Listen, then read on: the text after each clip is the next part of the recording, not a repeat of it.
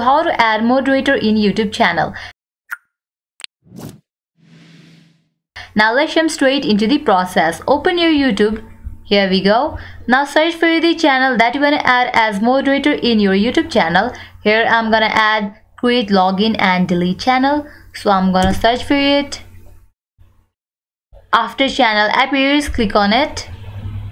Now at the top you can see this URL of the channel. You have to copy it in this way.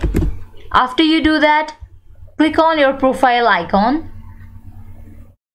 Over here you can find different options. Go to the option YouTube Studio.